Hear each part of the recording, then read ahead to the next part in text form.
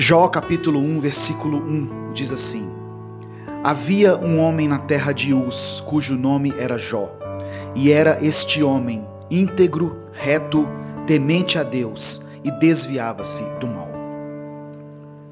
É interessante perceber que as qualidades que temos valorizado como cristãos estão mais ligadas ao que a pessoa tem do que ao que ela é.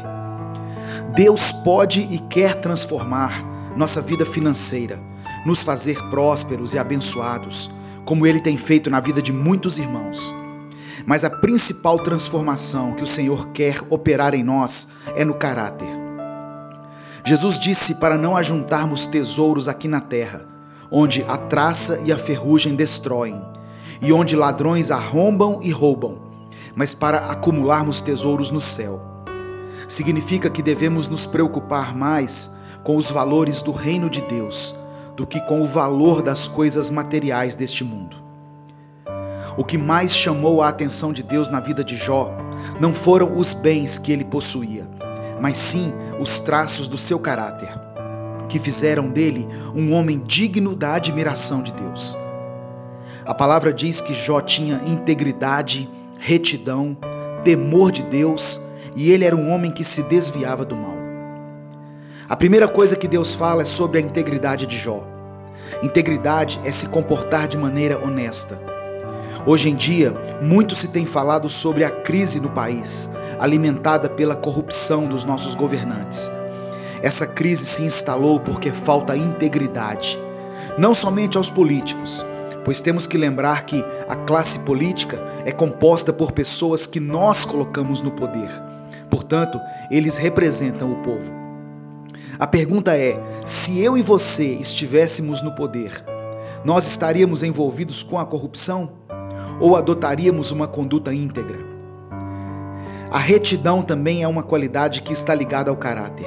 Significa andar em linha reta, sem desviar-se. Andar em retidão significa ter um foco nas coisas que agradam a Deus. E para isso é preciso renunciar à nossa tendência carnal e pecaminosa. Jó também foi elogiado por ser um homem temente a Deus.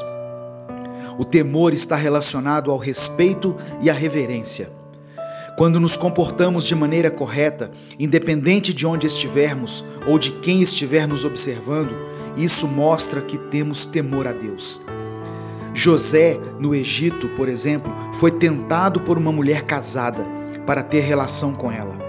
Embora estivesse sozinho com a mulher, longe de sua pátria, ele entendeu que Deus não se agradaria daquilo e preferiu permanecer fiel aos seus princípios.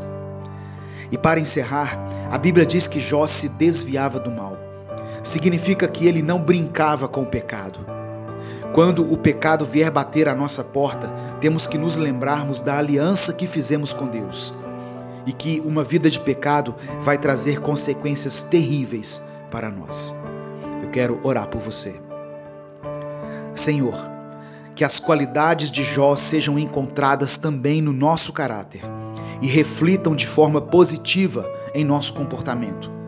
Que a integridade, a retidão, o temor e uma atitude correta em relação ao pecado façam parte da nossa vida. Sabemos que o diabo anda ao derredor, procurando alguém que possa tragar, mas que ele não encontre em nós nenhuma legalidade eu oro em nome de Jesus. Amém. Deus te abençoe. Eu sou o pastor Edivaldo Oliveira. Inscreva-se no canal Minuto com Deus e conheça mais mensagens que vão edificar sua vida.